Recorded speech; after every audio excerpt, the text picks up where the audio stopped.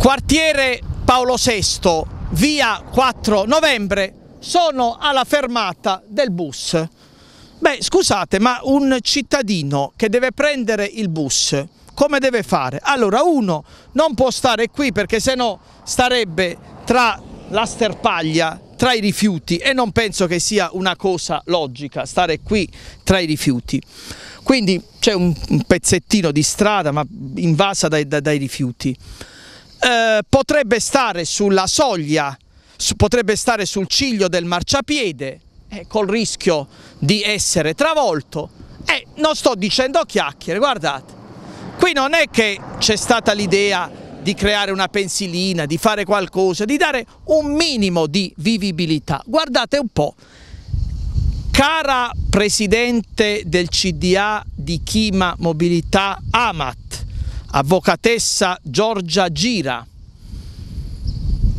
intervieni e lo dico a te cara Gira perché tu non sei nuova come presidente dell'Amat, già lo eri, lo sei stata prima, prima ancora di Spalluto, quindi nel, nella precedente amministrazione Melucci. Caro Mattia Giorno, assessore alla mobilità sostenibile, te la profumi tanto, fai tanto il fighetto con le BRT, con questo, con quest'altro.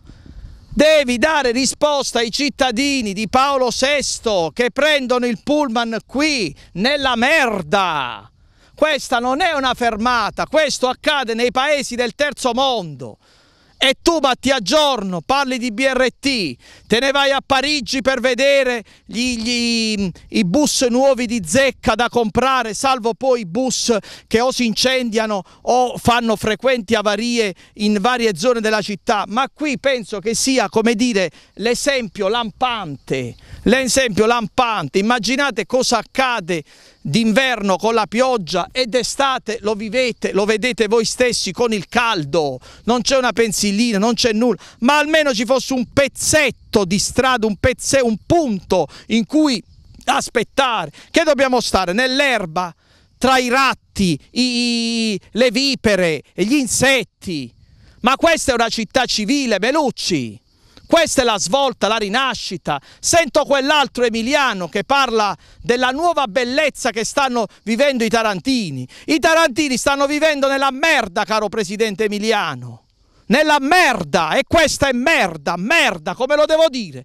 Vi dovete scandalizzare delle mie parolacce e scandalizzatevi pure, non me ne frega niente. Io devo dare risposta ai cittadini, non devo dare risposta a voi comodamente seduti in poltrona con, con il climatizzatore. Guardate qui, guardate.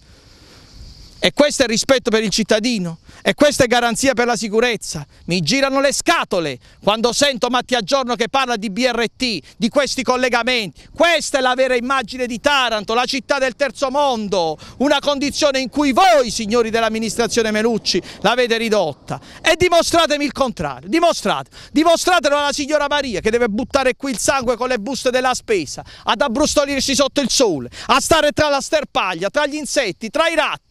Questo è il rispetto della dignità umana? Questo è terzo mondo, caro Melucci. Terzo mondo, vergognati!